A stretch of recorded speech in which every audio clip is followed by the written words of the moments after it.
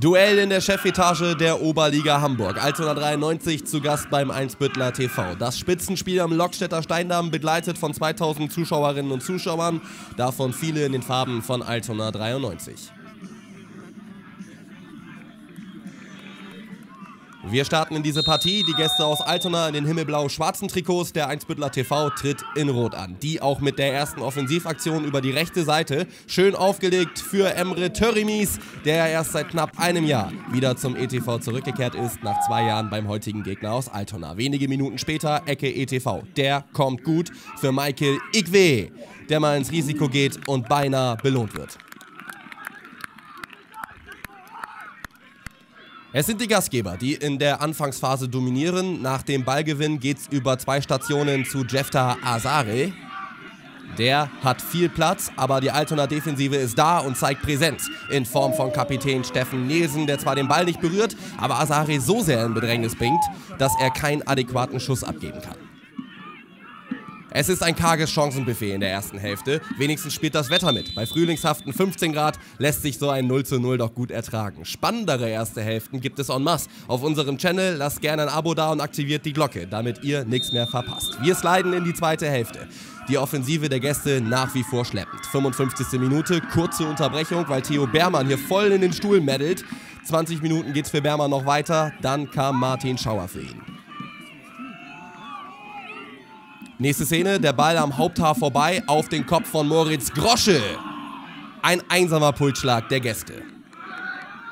Deutlich regelmäßiger pumpt das Herz der Einsbüttler, die über die linke Seite einleiten. Das ist Bamo Mohammed. Wieder so ein Ding, das nur knapp über die Latte geht. Kapitän Mohammed ist auch derjenige, der die nächste Gelegenheit in die Spur bringt. Das ist ein toller Pass in die Spitze auf Dominik Akjol. Die Grätsche von Yannick Petschke ist richtig gut getimt. Er bewahrt sein Team vorerst vor dem Gegentreffer. Eine vierte Stunde noch zu spielen. Freistoß ETV. Das ist Samuel Olajisoy. Und da ist er! Der längst überfällige Treffer für Einsbüttel.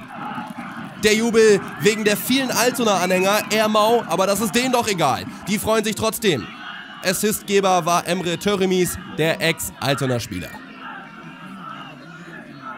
Eimsbüttel zeigt sich nun noch Willenstecker. Sie setzen aufs zweite Tor, werden aber unsanft von Altonas Buja Sidia gestoppt. Nachdem alle wieder zur gemäßigten Atmung wiedergefunden haben, geht's weiter. Der ETV ist weiterhin stark präsent am Tor der Gegner. Wieder über links, wieder mit Abdul Yagu. Der hat Platz und ein Auge für Henok Tevolde. 2 zu 0. Sieben Minuten vor Schluss machen die Gastgeber den Sack dicht. Im Rücken vom Keeper Julian Quack kommt er angerauscht. Für Abdul Saibu nichts mehr zu machen.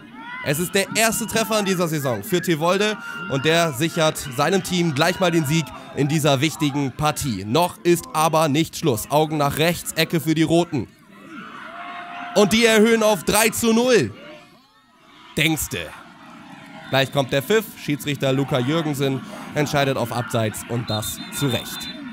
Mit dem eingewechselten Markus Borgmann traut sich Altona nochmal vor das Tor seines Gegners. Dieser Versuch schwenkt aber in ein Konter um. Am Ball Henok Tevolde. Der bewegt sich übers halbe Feld. Findet Tyrese Boaki. Der wird von Saibu zu Fall gebracht. Die Gastgeber fordern vehement Elfmeter, kriegen aber keinen. Zu Recht, meiner Meinung nach. Das ist einfach zu wenig für einen Elfmeter. Diese Aktion sowieso nicht spielentscheidend. Der 1 Büttler TV siegt verdient gegen ein unscheinbares Altona 93. Die Stimmen zum Spiel jetzt bei Loris Timmermann.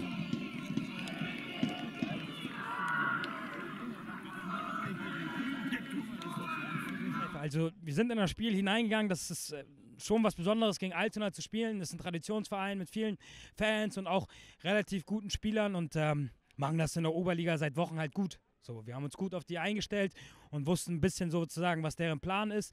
Und wir haben uns sehr auf dieses Spiel gefreut, aber im Spiel wusste ich immer, irgendwann wird ein Tor fallen. Großes Kompliment an meine Mannschaft, dass sie von hinten heraus immer und immer wieder versucht hat, Fußball zu spielen und sich dann Torchancen herausspielt. Aber im letzten Drittel, da müssen wir noch arbeiten. War für uns die Stadt nicht ganz so einfach. Wir haben viele Spielausfälle jetzt gehabt. Wir haben jetzt vier Wochen überhaupt keinen Wettkampf gehabt und muss das irgendwie kompensieren andauernd. Und hat man so ein bisschen am Anfang gemerkt, haben das trotzdem in, der, in den ersten 10, 15 Minuten haben wir gebraucht, da reinzukommen.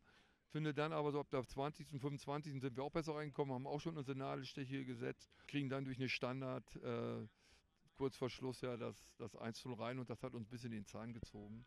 Damit müssen wir leben, da müssen wir, das müssen wir verarbeiten und auch die Erfahrung raussammeln. Aber wie gesagt, ich bin unterm Strich natürlich mit dem Ergebnis nicht zufrieden. Aber wie wir hier versucht haben ähm, und wie leidenschaftlich hier angetreten sind, damit bin ich, komme ich klar.